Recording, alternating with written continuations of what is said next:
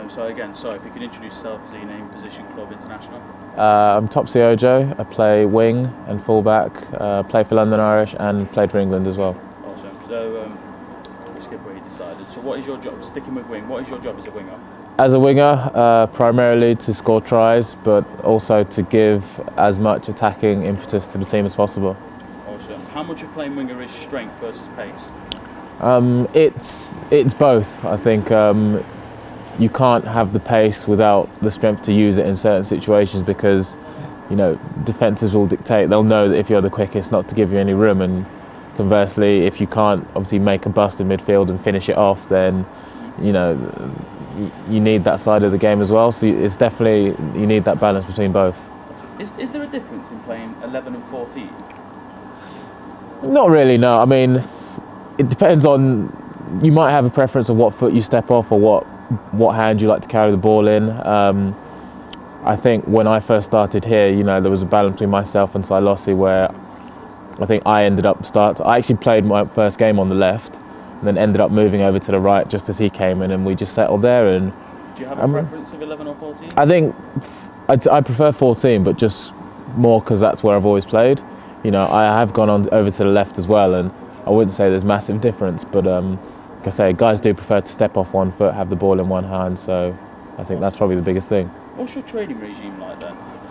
So on a typical week, we'll train. Say for a Saturday game, we'll train Tuesday, Wednesday, Thursday, and Friday. So Tuesday and Wednesdays will be weights in the morning, rugby in the afternoon. Um, that'll all be our preparation and analysis of the week coming up.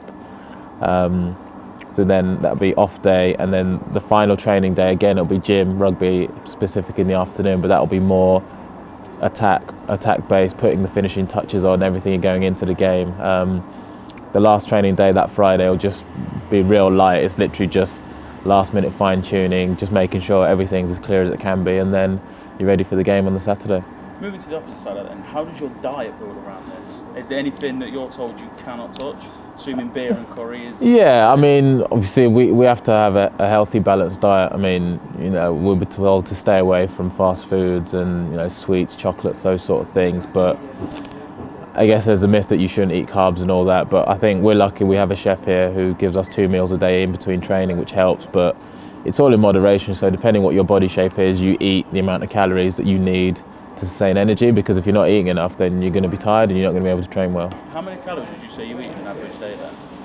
I think my average is about, well, it's meant to be, I think 3,200, 3,500 roughly. I, in fact, I, won't I struggle to hit it sometimes because, I mean, you know, it's one of those, you eat till you feel comfortable, but, you know, we're quite scientific with it now and, you know, we've worked out what a player can eat on a training day to make sure they've got the optimum energy levels, but How many portions does that break down into? Is there a set amount? Um, I'd say one, two, three, probably about four at least. I mean, you're meant to eat four to five. That's what we're told. But I mean, say like myself now, I'll have a bowl of porridge in the morning. I'll have my two meals here, so one after weight, one after dinner, after sorry training, and then I'll have dinner in the evening, and that'll be me. So. Awesome. Uh, going back to a few years ago now, what was it like when you played against the All Blacks in 08? It was your debut match with them. Yeah, it was uh, it was an unbelievable feeling. I mean, we see you grow up watching all these teams and seeing their traditions and that, and obviously to play for England in itself was fantastic. But to do it against the All Blacks as well, who were and have been obviously probably one of the best teams over the last decade, was that was a great feeling. Um, Going on to that then, what was it like when you intercepted Dan Carter's pass and did that 80 metre run? it was a bit of a blur, to be honest, just because I mean I know we were under pressure at the time, and I guess it was fortunate in a sense that I got it and managed to go the length and score. But obviously, if I'd missed it, then they probably would have walked in. So um, Do you know when you're running that sort of the full length of the pitch, do you ever sort of think of where the man, a man coming to, to tackle you?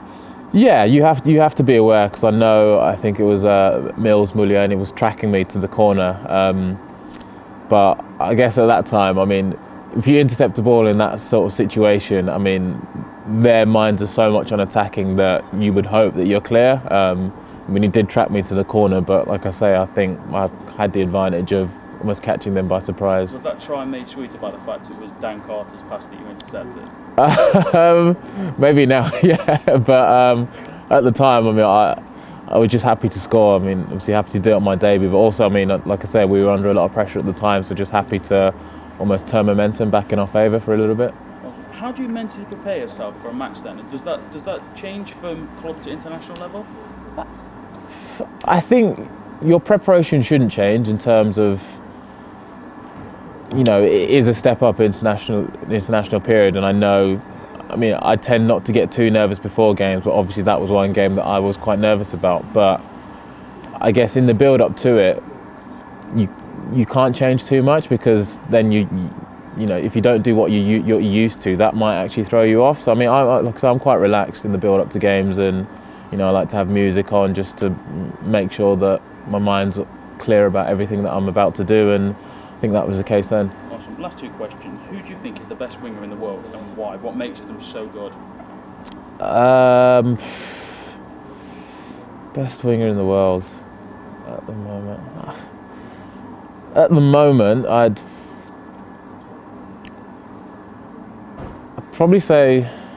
I don't know. It's a very hard question. I, I mean, okay, I'll say the person who I think is playing the best at the moment is Bryan Habana.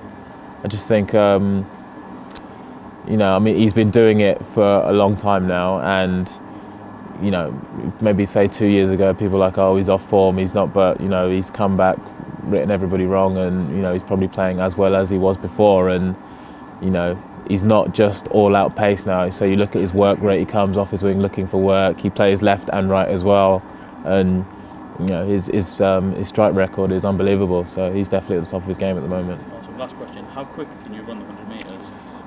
Ten seconds dead.